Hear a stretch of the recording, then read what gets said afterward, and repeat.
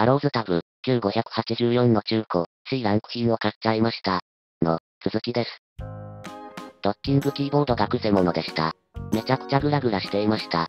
ヒンジの付け根が固定されていない感じです。購入店に連絡しようとも思ったのですが、とりあえずどうなっているのか、確認したいので分解しちゃいました。外観で確認したネジは、タブレット取り付け溝の中にあるネジ4つです。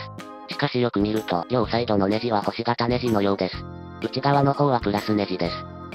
ネジ回しは以前100円ショップで買った、200円交換式ドライバーセットの中に星型のものがありました。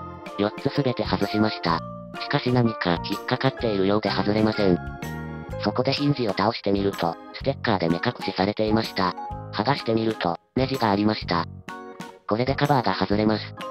ダイキャスト製のカバーでがっちりしています。この時、着脱用のボタンが脱落してしまいました。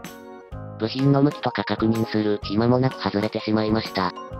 実際にはそんな複雑な機構でないのでなんとかなったのですが、かなり冷や汗ものでした。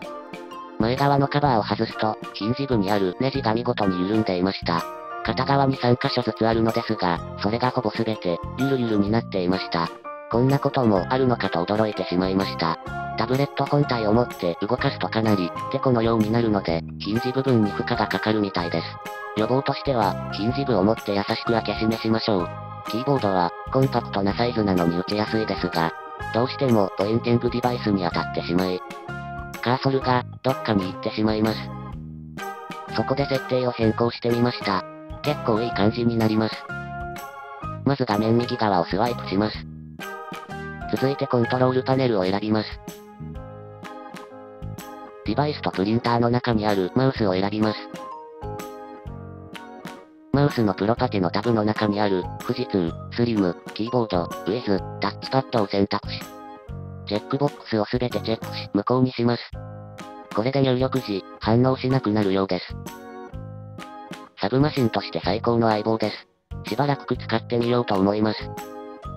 とりあえずヒンジも治ったので、個人的には、満足しています。今日はこの辺で。じゃあねバイバイ。ゼニトでした。